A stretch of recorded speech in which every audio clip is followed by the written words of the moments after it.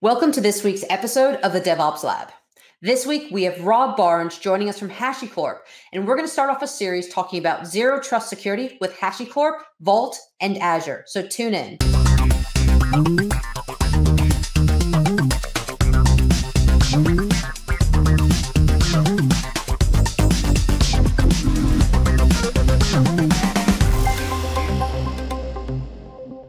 Welcome to this week's episode of the DevOps Lab. And on this week's episode, we have a very special guest from HashiCorp. Welcome, Rob. Thank you so much for having me. Really looking forward to this.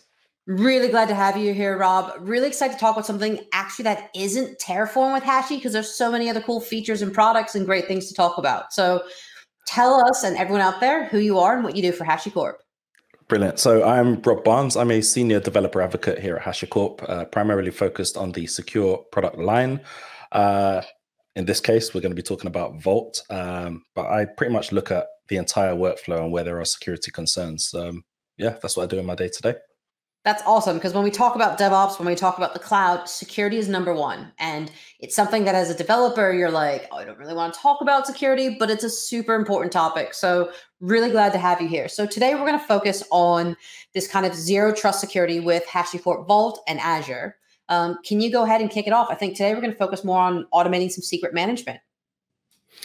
Absolutely. Um, so, actually, before we get to secrets management, what we want to do is we want to look at access to uh, Vault. Um, mm-hmm. And the idea here is um, what we're trying to do is we're trying to avoid um, secrets being sprawled everywhere. But it's not just the secrets that we need to worry about, it's also identity the key thing is you want to manage your secrets and your identity uh, in a central place. And uh, in my experience, there's no better place to, you know, uh, store your identity uh, than uh, Azure Active Directory. So what we can do actually is when we talk about something like HashiCorp Vault, uh, rather than having to go into Vault and create accounts for every single developer, we can actually just use the Active Directory that we have in Azure and pull in all the identities from there and use that identity to authenticate with Vault and you know from there you can do whatever it is that you're authorized to do. But there are a few steps that you, you need to kind of uh, do in, in order to, to make that happen. Um, so you know i can share my screen and we can have a quick look at from the azure side of things the things that you're going to need up front. Um, so if you can see my screen there uh, so what we want to do is we want to head over to azure active directory. Um, and I've already done some of these steps here, but what you'll want to do is you'll want to head over to app registrations and create a new app registration just by clicking uh, this link here. Um, mm-hmm. As I say, I've already done it. Uh, so we'll just click in and we'll take a look at some of the details you are going to need to use Azure as your identity provider, right? Um, so it's all blurred out here, but we have uh, some details, which is the application ID uh, or the client ID you might be more familiar with. Mm-hmm. Uh, you'll also need the object ID and the tenant ID as well, right? Yeah. So you've got those details there. The next thing you're going to want to do is this is the, the process we're using to, to make all this work is uh, OIDC, right? Mm-hmm. So, in order to do that, what's going to happen is you're going to uh, come to Azure, you're going to log in, and then once that login is complete, it's going to have to redirect you back to Vault. So, you're going to have to create a couple of uh, redirect URLs, which we can have a quick look inside here. Okay. I'm just running Vault locally on my machine. So, I've popped two URLs here. So, one is uh, this is just for um, my browser. Mm-hmm. Sorry, the top one's for my browser, and the bottom one is if I'm using the command line, right? So okay, either way, cool. it's going to redirect me back to that. Now, you have that this is basically going to be the identity that Vault uses, right? Mm-hmm. Now, in order for this to work, you need to give it some permissions, right? So I'll just head over to API permissions so we can just see what's required. This is really important um, that we get this right. And the permission that we need here, if I just expand that, is group member read all, right? Okay. So this is a least privileged approach. You don't need anything more than that for this, right? So you grab all those things there, and April, I know you said you uh, were happy to see something that wasn't Terraform, but actually we're going to configure this using Terraform, right? That that's totally acceptable. That's totally acceptable. We, we're automating everything, Rob. I love it when we automate everything. So let's go for it. Amazing. Okay, cool. So we'll just head over here. So uh, if we just take a look here at this code here, so the first thing we want to do in Vault, so now we've, we've got all those details out of Azure, which mm-hmm. is what we require to, to configure all of this, right? So the first thing we need to do is we need to enable the OIDC auth method in Vault, which we're okay. doing with this resource here. Uh, so we're just popping in a few details. So we grabbed the client ID from the app registration that we did. Um, mm-hmm. I've just got that stored in a variable. We also have the client secret, which is something else that you create with the uh, app registration. So this is essentially like your username and password to get into yeah. um, Azure. And we're just enabling it uh, at Vault at this path OIDC, and the mm-hmm. type of auth method is OIDC, right? Um, cool and we're going to create a vault role, which a vault role is essentially going to map to a set of um, Azure permissions, right? Mm-hmm. So we run this resource, and next thing we want to do is we want to create that role. So we talked about this default role. So we're going to call it Azure, and we're going to tie it to that auth method that we've just created. Okay. Now, anyone that knows um, OIDC knows that under the hood it uses uh, JWT tokens or JWT or however you pronounce it. I'm not really sure how people out there are pronouncing it. Um, but we want to add some claims to the token that comes back, right? So we just want to add a user claim uh, with uh, the word email in there. And we also mm-hmm. want to add a groups claim uh, with the word groups in there, which again, if we kind of go back to um, to the Azure portal, you can see you can add claims into your uh, your app registration. Um, so if we go to token configuration, you can mm-hmm. add your group claims here. You can add okay, any extra cool. claims that you need. So this is all what's going to be contained within your JWT token, right? Cool. So essentially we're just mapping those things there. So if if the token that you get back doesn't contain these things here then vault is not going to like it. And you know essentially it's not authenticating because it doesn't match right? Yep. Uh, so they're not going to have a, handshake and a happy relationship then. Exactly exactly. Yeah.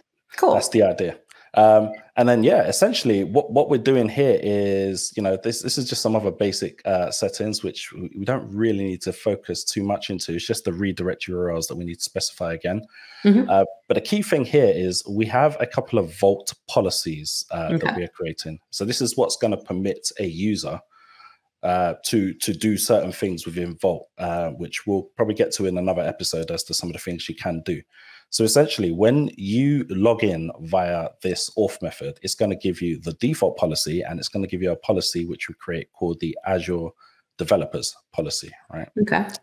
Um, so that's the first step. Uh, the second thing is, you know, like I said, we want to manage our identity centrally. We don't want to have to do mm-hmm. everything twice, right?